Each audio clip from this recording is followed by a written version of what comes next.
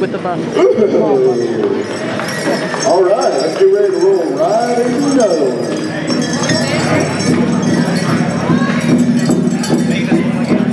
Well, there's some extra parts for later. Yeah, that's, that's okay.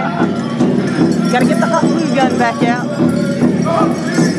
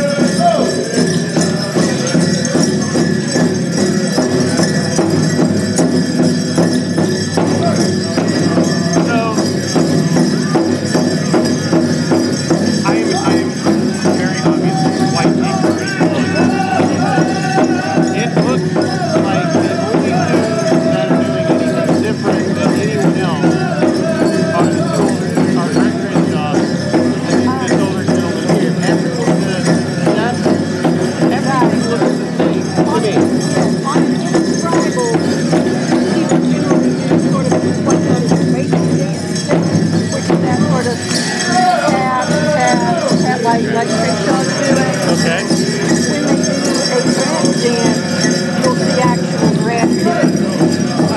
Or when you do fancy dance. Whereas when you tease yourself, they'll add a little something in. Like the All right, we've got one more. How about six songs straight? Um, yes, we're gonna take a little break here.